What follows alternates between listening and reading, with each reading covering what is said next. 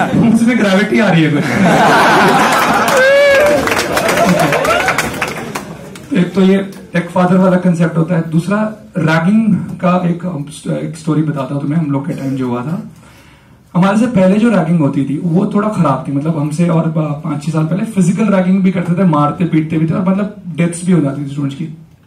हमारे टाइम तक आते आते बहुत कोर्ट रूलिंग्स वगैरह हुई और फ़िज़िकल रैगिंग खत्म होकर मेंटल रैगिंग स्टार्ट हो गई। मतलब मोस्टली बात करके होने वाला। अब हम लोग इस बात से थोड़ा खुश तो थे कि भाई चलो, पिटाई विटाई नहीं होगी ना? तो फ़र्स्ट उसी समय मैं और हर्ष दोस्त भी बने थे। तो फ़र्स्ट ईयर में जो पहली रात थी वहाँ पर हॉस्टल वाली। तो हम लोग सात आठ लोग हम लोग रुक बाकी कुछ लोग भग गए होटल वोटल में कि भाई पहला ये निकाल लो पहला दिन। पहले दिन सबसे इंटेंस रैगिंग होती है, फिर बाद में इंटेंसिटी कम होती जाती है तो कई लोग तो भग गए। हम आठ लोग लोग नौ लोग नहीं गए। I mean we not so rich की अफोर्ड करते होटल में जाकर रुकना। लेकिन जो जो जिन लोगों के पास था धन था वो तो ये कर ही सकते थे तो कुछ लोग भग गए होटल अब हम लोग जो आठ नौ लोग रुके तो फिर रात में प्रक्रिया शुरू हुई। तो सीनियर्स अच्छा हमारे फोर्थ ईयर मतलब जैसे मैं केमिकल इंजीनियरिंग में था तो फोर्थ ईयर के जो सीनियर्स थे केमिकल इंजीनियरिंग के वो भी हमारे हॉस्टल में थे बदकिस्मती से। वो सबसे प्रगाढ़ होते हैं। एक तो दो तीन साल से कर रहे होते रैगिंग। और ये आखिरी साल होता रैगिंग। तो जितनी तमन्नाएँ इकट्ठी होती हैं, दिल में, वो सारा ही तो निकालने का प्रयास करते हो तो फिर हम लोग लाइन से आ गए। अब उन्होंने पहला सवाल बड़ा अच्छा पूछ लिया। उन्होंने पूछा हॉबीज बताओ अपनी। हम सब रिलैक्स हो गए। रहे वाह, है ना? क्योंकि हर इंटरव्यू के लिए एक सवाल सभी लोग तैयार कर रहे व्हाट आर योर हॉबीज सबने सबने कुछ कुछ याद रखा। मैंने बोला, मैं फुटबॉल खेलता हूँ। हर्ष ने बोला, मैं न्यूज़पेपर पढ़ता हूँ। एक ने बोल दिया। एक ने बोल दिया मुझे स्विमिंग अच्छी लगती है? फिर अगली कड़ी शुरू हुई। तो अच्छा बेटा तू फुटबॉल खेलता? मैंने कहा हाँ मुझे फोर्थ ईयर के सीनियर्स थे पर दादा। तो उन्होंने कहा वो जिस लॉबी में ऐसा जैसे इधर रूम्स है फिर ये पूरी लॉबी फिर उसके बाद फ़र्स्ट फ्लोर पर थे हम लोग। वो गोल दिख रहा है? मेरे को बोला। और मैंने कहा हाँ दिख रहा है। पूरा एक गोल पोस्ट रहा एक गोल पोस्ट ये ठीक है? कितने प्लेयर्स होते हैं? ग्यारह। एक रेफरी भी होता है? हाँ। तो देखो, वो टीम भी तुम ही हो, ग्यारह प्लेयर्स ये टीम भी तुम ही हो, ग्यारह प्लेयर्स रेफरी भी तुम ही हो. फुटबॉल दिख रही फुटबॉल कितने मिनट का होता है? फोर्टी फाइव मिनट्स हाँ दो हाफ़ भी होते हैं उसके. तो फोर्टी फाइव मिनट तुमको इधर की टीम बन के खेलना है, बिना फुटबॉल के. और गोल होने पर यस ये भी और वो वैसे जैसे करते हैं वो गोल होने के बाद रगड़ते हुए जाते हैं फ्लोर रियल होना चाहिए था ना सब कुछ?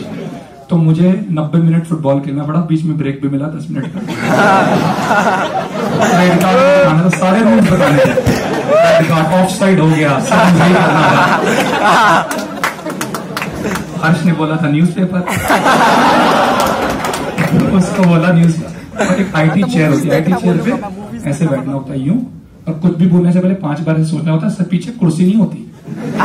बिना कुर्सी ऐसे बैठना होता है। अब हर्ष को आईटी चेयर पर बैठना था और न्यूज़पेपर पढ़ना था। बिना न्यूज़पेपर फ्रंट पेज की news international news city news sports news Bollywood news और जितनी देर, अब अच्छा जितना तो उसने साल भर पढ़ा होगा, सब तो हर्ष ने जिसने स्विमिंग बोली वो। उसको पहले बोलो कॉस्ट्यूम में आओ। उसके बाद नीचे बाल्टी से पानी गिरा दिया वहीं पे।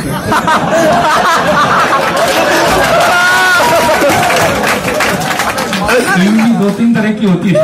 बटरफ्लाई फ्री स्टाइल और कुछ होता है स्ट्रोक होता है। ये जितने भी दो तीन तरह के थे तो उसको बेचारे को घिस तो गया वो बेचारा। यहाँ से वहाँ तक स्विम करके जाना था, एक बार फ्री स्टाइल में, एक बार ब्रेस्ट स्ट्रोक एक बार बटरफ्लाई है ना? और यहाँ से वहाँ वहाँ से वापस भी आना था। है ना? अंडर वाटर था कि। पानी, पतली सी तो लेयर थी पानी की बस से वहाँ पर रात जैसे तैसे निकली। हालाँकि बहुत उसके बाद, देखो, जैसे मेरा हो गया कांड, वो नब्बे मिनट वाला, फिर उसके बाद दूसरों पर हंस रहे थे। लेकिन फिर तीसरा है तो फिर अपने इंसान की सबसे बड़ी तकलीफ़ खुद के दुख से ज़्यादा दूसरे के दुख से खुश होता है सुनेंगी? अच्छा जब मैं फुटबॉल की तो बड़ा हंस रहा था वो।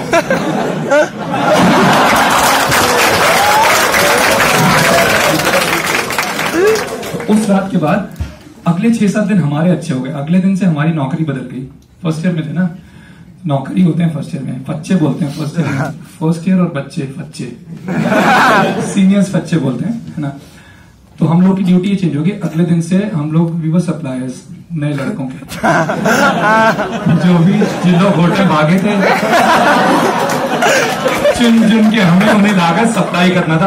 आज इन सीनियर्स के पास जाओ। उन लोग की छह सात दिन कार्यक्रम चला। हम तो पहले दिन ही, भाई, हम लोग अच्छे लोग थे कि पहले दिन दिलेर थे, पहले दिन जेल लिया। पर इस प्रोसेस में हम और मतलब ये गड़बड़ी, हम लोग थोड़ा बॉन्ड हो गए कि हमें मतलब सीनियर से हमारी थोड़ी इंटरेक्शन ज़्यादा हो गई उनसे।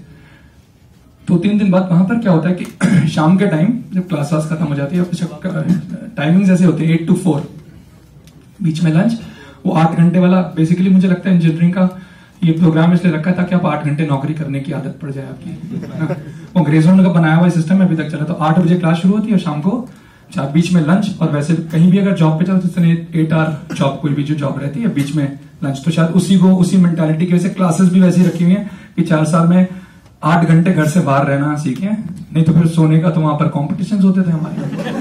कुछ कुछ इतने ऑनेस्ट स्लीपर्स थे। दीपक था, उसका बाईस घंटे का रिकॉर्ड था। आई मीन वो इतना ऑनेस्ट था सोने में कि ब्रेकफास्ट के टाइम उसकी आँख खुलती थी और वैसे ही जाके नाश्ता करके फिर उसी पोज में जाकर सो and they were serious competitors मतलब तीन चार लोग जो उस, उसका अठारह घंटा उसने उन्नीस घंटा बीट किया उन्नीस घंटा बीस मिनट रियल गुड स्लीपर्स मतलब वो किसी अलग लेवल पर नींद थी उनकी। मतलब मे भी भगवान से सीधे पहुँच जाते थे।